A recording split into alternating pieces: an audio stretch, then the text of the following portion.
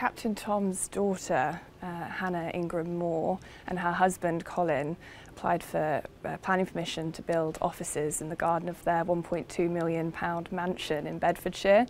This planning permission was accepted by Central Bedfordshire Council and they went ahead and built the annex. The only issue was, by the time they'd applied for retrospective planning permission in February 2022, they'd added on an extra wing. This 50 by 20 foot annex was rejected by the council and they've now been told to tear it down. So Hannah and her husband Colin had built a swimming complex in the offices. It had uh, changing rooms, a swimming pool.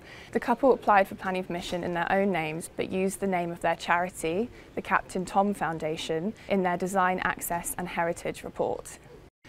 The Captain Tom Foundation has claimed it had no idea that the charity was named in the planning application and they didn't know about plans to build offices in the garden of the 1.2 million mansion before.